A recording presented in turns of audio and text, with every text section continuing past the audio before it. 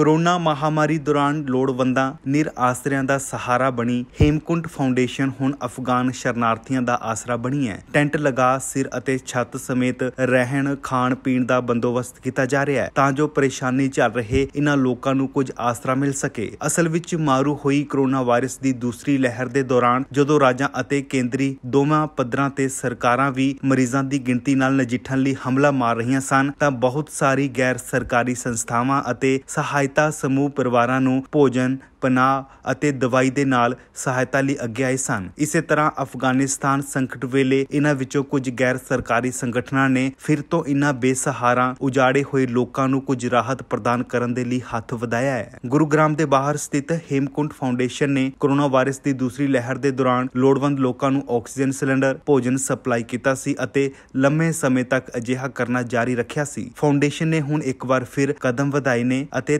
ਤਾਲਿਬਾਨ ਦੇ ਅਫਗਾਨਿਸਤਾਨ ਤੇ ਕਬਜ਼ੇ ਕਰਨ ਤੋਂ ਬਾਅਦ ਭਾਰਤ ਭੇਜੇ ਗਏ ਅਫਗਾਨ ਸ਼ਰਨਾਰਥੀਆਂ ਦੀ ਮਦਦ ਕਰ ਰਹੀ ਹੈ। ਫਾਊਂਡੇਸ਼ਨ ਨੇ ਇਸ ਦੇ ਸੰਪਰਕ ਵੇਰਵਿਆਂ ਨਾਲ ਜੁੜੀ ਜਾਣਕਾਰੀ ਵੀ ਸਾਂਝੀ ਕੀਤੀ ਹੈ ਅਤੇ ਉਹਨਾਂ ਦੇ ਮੁੜ ਵਸੇਵੇ ਤੋਂ ਪਹਿਲਾਂ ਇਹਨਾਂ ਬੇਘਰ ਹੋਏ ਲੋਕਾਂ ਨੂੰ ਭੋਜਨ, ਰਿਹਾਇਸ਼ ਅਤੇ ਬੁਨਿਆਦੀ ਲੋੜਾਂ ਲਈ ਜੋ ਵੀ ਸਹਾਇਤਾ ਦੀ ਲੋੜ ਹੈ, ਮੁਹੱਈਆ ਕਰਵਾਉਣ ਦੇ ਲਈ ਅੱਗੇ ਆਏ ਨੇ। ਫਾਊਂਡੇਸ਼ਨ ਕਿਸ ਤਰ੍ਹਾਂ ਦੀ ਸਹਾਇਤਾ ਮੁਹੱਈਆ ਕਰਾਏਗੀ, ਇਸ ਬਾਰੇ ਦੱਸਦਿਆਂ ਫਾਊਂਡੇਸ਼ਨ ਦੇ ਅਹੁਦੇਦਾਰਾਂ ਨੇ ਕਿਹਾ ਕਿ ਉਹ ਉਹਨਾਂ ਪਰਿਵਾਰਾਂ ਲਈ ਤੰਬੂ ਵੀ ਲਗਾ ਰਹੇ ਨੇ, ਜਿਨ੍ਹਾਂ ਨੂੰ ਸੰਕਟ ਦੌਰਾਨ ਭਾਰਤ ਲਿਆਂਦਾ ਗਿਆ ਹੈ ਅਸੀਂ ਇਸ ਵੇਲੇ ਅਫਗਾਨਿਸਤਾਨ ਤੋਂ ਆਉਣ ਵਾਲੇ ਸ਼ਰਨਾਰਥੀਆਂ ਲਈ ਇੱਕ ਕੈਂਪ ਤਿਆਰ ਕਰ ਰਹੇ ਹਾਂ ਅਤੇ ਅਸੀਂ ਘੱਟੋ ਘੱਟ 500 ਟੈਂਟ ਲਗਾ ਰਹੇ ਹਾਂ ਜੋ ਵਾਟਰਪ੍ਰੂਫ ਇਨਸੂਲੇਟਡ ਨੇ ਅਤੇ ਸਾਡੇ ਕੋਲ ਲੋਕਾਂ ਦੇ ਰਹਿਣ ਲਈ ਬਹੁਤ ਸਾਰੀ ਜਗ੍ਹਾ ਵੀ ਹੈ ਸਾਡੇ ਕੋਲ ਉਹਨਾਂ ਦੇ ਆਰਾਮਦਾਇਕ ਰਹਿਣ ਲਈ ਕੂਲਰ ਪਾਣੀ ਭੋਜਨ ਅਤੇ ਹਰ ਤਰ੍ਹਾਂ ਦੇ ਪ੍ਰਬੰਧ ਨੇ we are in Gurgaon 20 minutes away from the airport और यहाँ पे हम अफगानिस्तान से जो रेफ्यूजीज आ रहे हैं who need accommodation and food उनके लिए भी setting up tent city and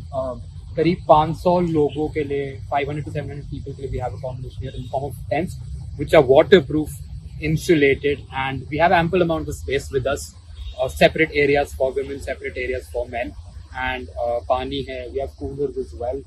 and 24 7 electricity and water supply so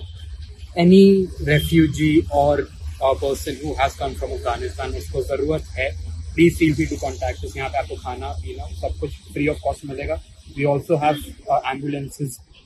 in case of an emergency and ambulance of space will be can accommodate five hundred to seven hundred people as of today and we will keep on increasing the capacity जैसे जैसे लोग बहुत ज़्यादा बढ़ते रहेंगे so support and please pat the work किसी को भी हेल्प चाहिए Hemkunt foundation is here to serve Hartirath Singh ਨੇ ਇਹ ਵੀ ਦੱਸਿਆ ਕਿ ਗੈਰ ਸਰਕਾਰੀ ਸੰਗਠਨ ਸਾਰੇ ਧਰਮਾਂ ਅਤੇ ਜਾਤਾਂ ਦੇ ਲੋਕਾਂ ਨੂੰ ਮਦਦ ਦੇਵੇਗਾ। ਬਸ਼ਰਤੇ ਉਹਨਾਂ ਦੇ ਕੋਲ ਉਹਨਾਂ ਦੇ ਪਾਸਪੋਰਟ ਅਤੇ ਵੀਜ਼ਾ ਹੋਣ। ਗੁੜਗਾਉਂ ਆਧਾਰਿਤ ਗੈਰ ਸਰਕਾਰੀ ਸੰਗਠਨ ਲੰਮੇ ਸਮੇਂ ਤੋਂ ਚੈਰਿਟੀ ਦੇ ਕੰਮ ਨਾਲ ਜੁੜਿਆ ਹੋਇਆ ਹੈ ਅਤੇ ਕੋਵਿਡ-19 ਦੇ ਦੌਰਾਨ ਆਪਣੇ ਵੋਲੰਟੀਅਰ ਦੇ ਨੈਟਵਰਕ ਦੁਆਰਾ ਕਰੋਨਾ ਮਰੀਜ਼ਾਂ ਨੂੰ ਆਕਸੀਜਨ ਸਿਲੰਡਰ ਵੰਡਣੇ ਸ਼ੁਰੂ ਕੀਤੇ ਸਨ। ਫਿਲਹਾਲ ਹੁਣ ਅਫਗਾਨ ਸ਼ਰਨਾਰਥੀਆਂ ਨੂੰ ਹਰ ਤਰ੍ਹਾਂ ਦੀ ਮਦਦ ਪਹੁੰਚਾਈ ਜਾ ਰਹੀ ਹੈ।